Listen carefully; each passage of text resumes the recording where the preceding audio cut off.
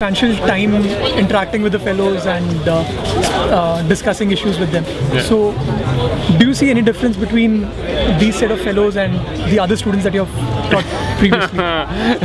is this gonna, is, is this gonna be seen by my students? I can't say anything. We'll filter Uh, okay. um, yeah, I think the fellows are much more self-motivated to learn, much more curious, which I think is the basis of learning. So, yeah. If there's one thing that you could change about how YF is structured, Hmm. what would you do? Make smaller classes. Smaller classes? Yeah, I would have seminars where you have maybe 15 people. Maybe break up a class and like have it in small sections, even if you have less hours of contact, to have like a really intensive, you know, discussion-based course. One more suggestion. Yeah. Oh, one more. Um, Not sure to the admin. is this going to the admin? No. Okay. Um, I don't know. I think it's a very good, uh, a good program. I don't. I don't. Besides that, I, I don't really see, see that much. Just on it. Yeah.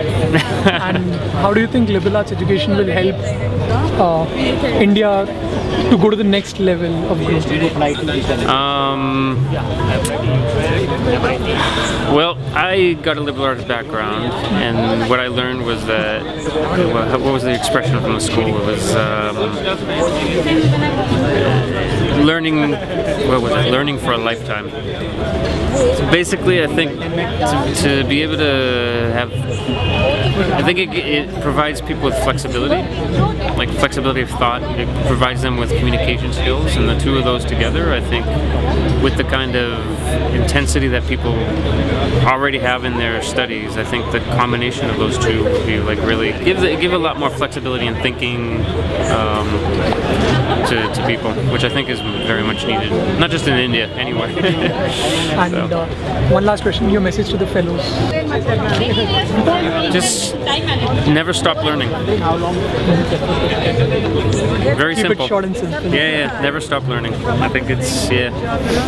It's, and what I said earlier, learning is for a lifetime. It really is. I think this. I mean, if you didn't already have that when you came in, then after coming to a program like this, you should realize that really that that this is just the beginning, and that what it's giving you is the, the base to, to start off a lifetime of learning. So, yeah.